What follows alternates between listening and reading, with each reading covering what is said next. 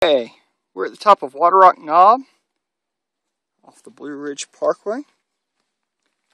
Our car is way down there. Yes, see. it is. Tried to zoom in on it. It's down there though. And Ethan is up here with me. Hi. It was a good hike, Ethan. Yes, it was, and it was very long. Amelia, my trooper. Uh-huh. We're happy to be here. Mm-hmm. Here's some more shots of Waterrock Knob. Bye.